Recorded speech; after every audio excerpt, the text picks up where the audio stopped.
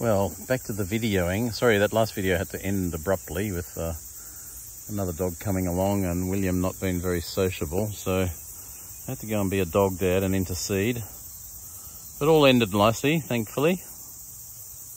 And uh, here we are again on Friday, the 21st of January 2022, 10.46 a.m.